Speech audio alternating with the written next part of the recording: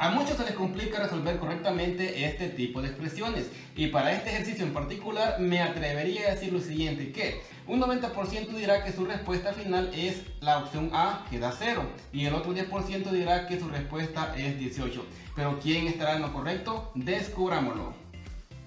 Lo primero que debes recordar o aprender es lo siguiente. Si tienes un número negativo cualquiera, yo voy a retomar en este caso menos 2 y lo tienes encerrado entre paréntesis y aparte de eso tienes exponente cuadrado en la parte de afuera de los paréntesis. ¿Qué significa?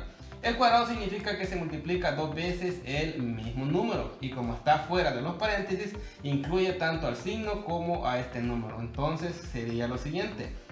Paréntesis menos 2 multiplicado con, abro otra vez paréntesis y acá otra vez menos 2. Ahora, ¿qué resulta de esto? Veamos. Menos por menos, sabemos que eso es más, entonces sé primeramente que el resultado es positivo. Ahora 2 por 2, yo sé que eso es 4. Entonces 4 positivo es mi resultado en este caso.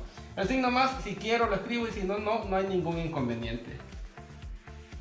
Ahora, si tenemos el mismo número, otra vez voy a escribir acá menos 2 encerrado entre paréntesis, pero ahora el exponente cuadrado está en la parte de adentro, mira qué va a significar. Ve la gran diferencia y apréndetela. Cuando está en la parte de afuera, dijimos que, bueno, es multiplicar dos veces el mismo número, incluyendo el signo. Pero si está en la parte de adentro de paréntesis, o si no hubieran paréntesis, nada más aplica para el número y no para el signo. En este caso, entonces, va a quedar primero menos, lo vamos a escribir por acá, y luego vamos a multiplicar dos veces, pero en este caso solo el 2 sin el signo. Entonces acá sería 2 paréntesis multiplicado con otra vez 2 y veamos que me va a quedar. Menos por más es menos por más es menos. Entonces sé que el resultado va a ser negativo. Y 2 por 2 eso es 4 ahora sé que el resultado es negativo diferente a lo que había obtenido acá. Ahora habiendo visto lo anterior podemos resolver esto de manera muy sencilla. Veamos la primera parte tengo el número negativo, los paréntesis y el exponente cuadrado en la parte de afuera. Aplica el primer caso donde el resultado va a ser positivo. Entonces 3 al cuadrado o 3 por 3 yo sé que eso es 9. Ahora menos lo voy a transcribir y veamos la segunda parte. Tengo el número negativo, tengo los paréntesis, pero el exponente cuadrado está en la parte de adentro.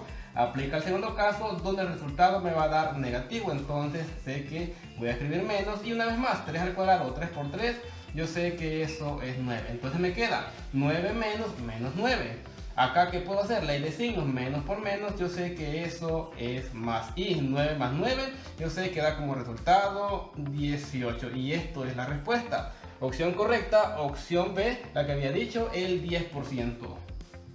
Y aquí lo tenemos resuelto. Y si no crees a lo que te he explicado, pues compruébalo. Escribe todo esto en tu calculadora desde este paréntesis hasta este otro, tal como está, dale igual y vas a obtener como resultado el número 18.